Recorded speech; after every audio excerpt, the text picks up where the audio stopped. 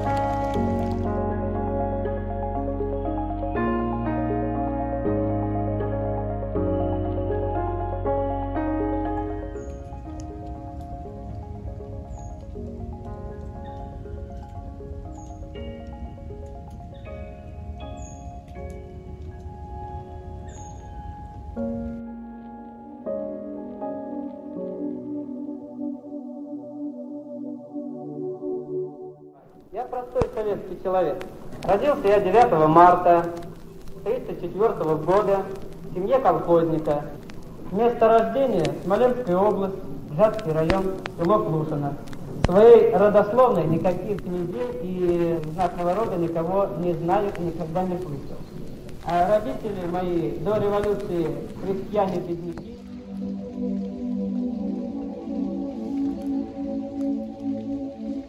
Я могу и себя причислить к людям труда. Ремесленное училище, индустриальный техникум.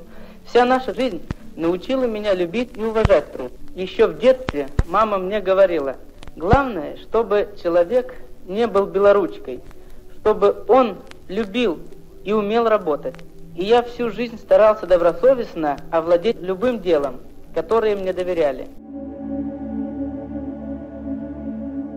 Ну, собственно, как случилось то, что стал я космонавтом. Все вы помните незабываемые дни 1957 года, когда в Советском Союзе впервые в истории человечества был выведен на орбиту Земли спутник. В то время я, собственно, авиационное училище, стал летчиком-истребителем и не думал, что когда-то доведется мне быть первым в космосе. Может быть, были такие мыслишки где-то в глубине, что эх, слетать бы хоть когда-нибудь туда.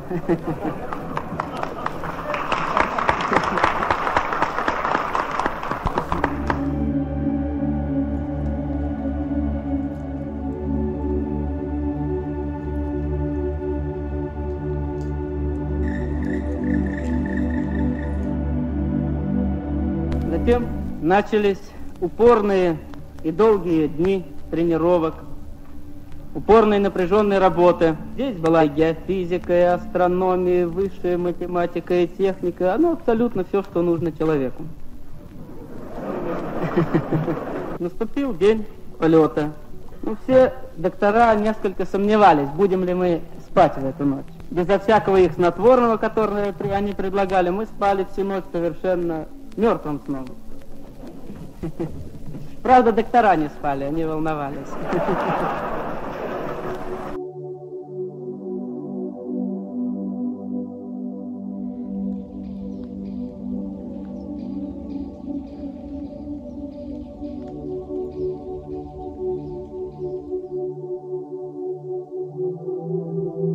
После прохождения плотных слоев атмосферы сразу же в иллюминаторах появилась наша родная Земля.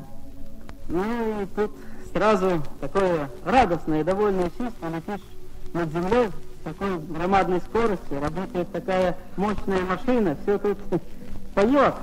Земля наша имеет очень нежный, красивый ореол. Очень приятно наблюдать. Ну, конечно, я не писатель и не поэт, так передать вам не могу. Точно как это было. Нужно, очевидно, писателей пригласить в космический полет, чтобы они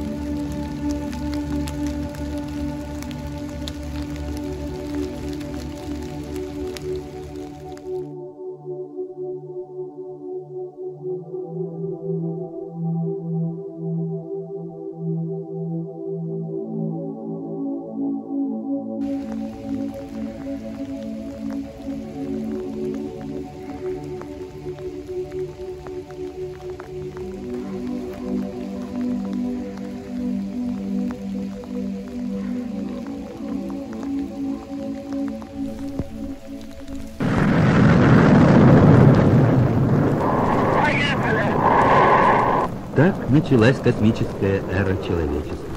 На связи с первым космонавтом Земли генеральный конструктор...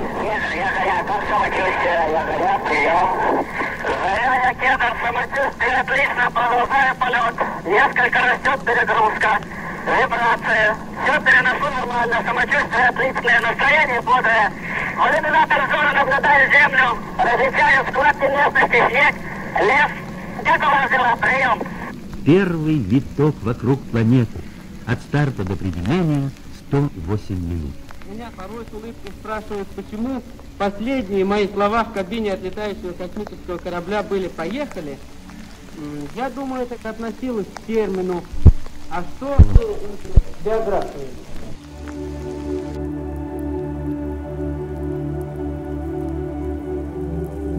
Предсказание Юрия Гагарина сбылось. И так современно звучат его слова. Соревнование в освоении космического пространства помогает развитию космонавтики. Но лучше, если бы, кроме соревнования, было бы хорошее и сотрудничество в деле освоения космического пространства в мирных целях, на мирной основе. По-моему, от этого выиграли бы и Соединенные Штаты Америки, и Советский Союз. От этого выиграли бы, наверное, народы всего земного шара. И от этого очень много выиграла бы космонавтика.